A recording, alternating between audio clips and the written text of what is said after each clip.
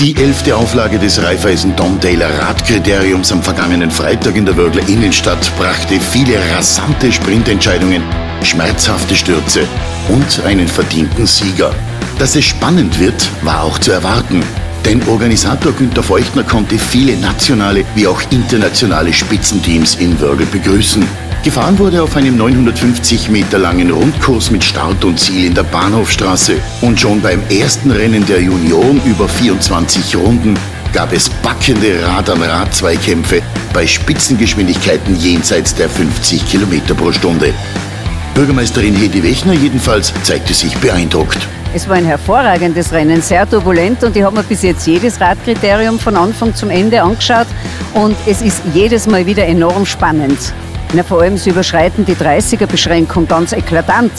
Aber, aber es ist ein Bild für sich, mit welcher Geschwindigkeit, dass die da durchfahren, äh, die, die Radlfahrer.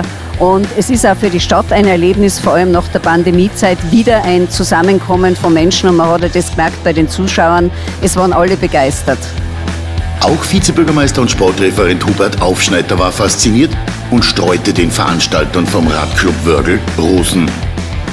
Ja, es ist eine super Veranstaltung, wenn man sich denkt, in einer Stadt wie Würgel so, einen, so einen Wettkampf abzuwickeln. Da kann man einen großen Dank an den Veranstalter, an den Radclub Würgel. Aber im Großen und Ganzen, es war eine perfekte Veranstaltung. Man hat es auch gesehen für die Leute, es wird super angenommen, sowas. Auch beim anschließenden Rennen der Elite über 45 Runden war die Spannung kaum auszuhalten, zumal sich nur die zehn Besten für das abschließende Ausscheidungsrennen qualifizieren konnten.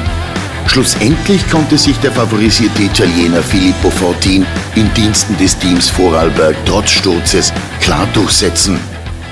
Yeah, uh, in the point race, Im Buch der Rennen habe ich die letzte Kurve zu schnell genommen und bin gestürzt. Aber ich war in der Lage zurückzukommen und konnte noch gewinnen. Ein positives Resümee zog dann auch Organisator Günther Feuchtner, der ein Kriterium mit einem würdigen Sieger sah. Es war total turbulent, also spannend bis zum geht nicht mehr. Das Finale speziell, weil es insofern auch auch spannend und auch ein bisschen turbulent, weil ja für die Fahrer, für die meisten Fahrer und Sportler das ja Neuland war. Also ein Finale sofort mit einem Ausscheidungsmodus. Und äh, da gibt es immer ein paar Schlitzer und die probieren das System ein bisschen zu umgehen.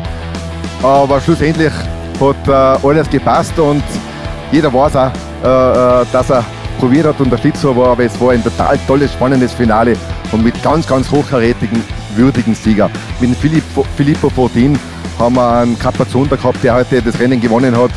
Hat bei nahezu alle großen Rundfahrten in Wahrheit schon Etappen gewonnen und das Würgler Kriterium hat er gesagt, das fehlt ihm noch und hat er heute vollendet. Also er war auch der Favorit, muss man sagen. Gell? So Feuchtner, der sich schon auf das zwölfte Radkriterium in zwei Jahren freut. Seitens der Stadt wurde ihm jedenfalls wieder Unterstützung zugesagt.